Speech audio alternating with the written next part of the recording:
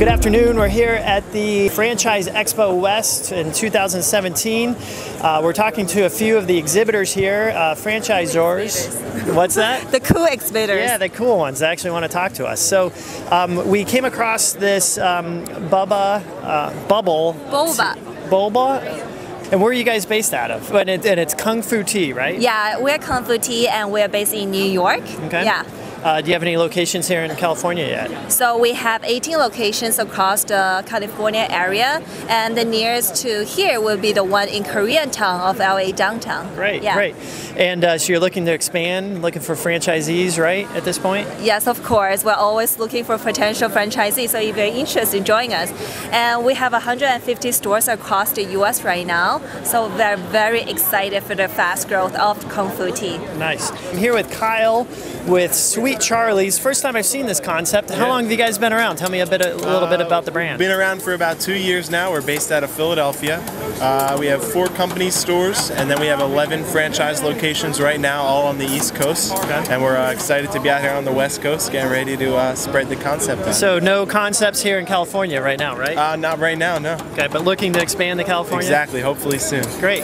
So tell me a little bit about the process and where did this uh, concept come from originally? So it's a frozen dessert concept. Everything is made from scratch to order right in front of the customer. So uh, because it's made and consumed instantly and not sitting in a freezer for months at a time, we don't need to add any preservatives or any junk like that.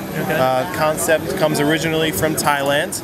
Uh, we brought it to the United States here, and we're now the largest rolled ice cream chain in the country. Very cool. So from start to finish, how long does it take to make the rolled ice cream? Uh, with a lot of training and a lot of practice, we'd like to get it down to about a minute and a half per ice cream. Cool, very cool. Michael and I are co-exhibiting here, and um, just wanted to introduce Michael to everybody. Um, can you tell us a little bit about Peer Restaurant Solutions and what sure. you do? Thank you. The- yeah, Peer Restaurant Solutions was founded to help restaurateurs with their back office. And so by that I mean um, helping them with payroll and payables, financial reporting, sales tax filings, pretty much all the stuff that restaurateurs have to do to run the business but don't want to do necessarily. And so we help with that. What kind of uh, franchisee are you looking for to grow the brand?